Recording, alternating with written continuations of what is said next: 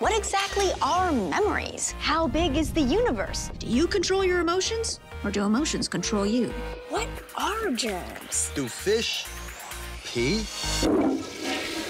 You're about to find out. If you've ever wondered why you don't look like the people you see on social media, well, they don't even look like that. No way. Is the five second rule real? Would you throw it away or keep eating it? There's a whole world of germs out there. Personally, if I drop food on the floor, I tend to apply a different rule. When in doubt, throw it out. Unless it's a cheese puff, then I'm totally eating it and probably wiping the cheese dust on my pants. What the heck?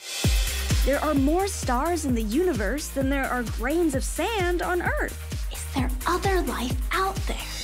Sometimes your emotions can change the way your brain interprets the world. Let's see if they can stomach what they've been served. Why is it a diaper? Oh, we ran out of plates. Sorry. It's time to discover the good, Excuse me, boys. the bad, and the OMG. Get ready to change the way you think about thinking on Brainchild. You're gonna love it. There is a 0% chance of that happening.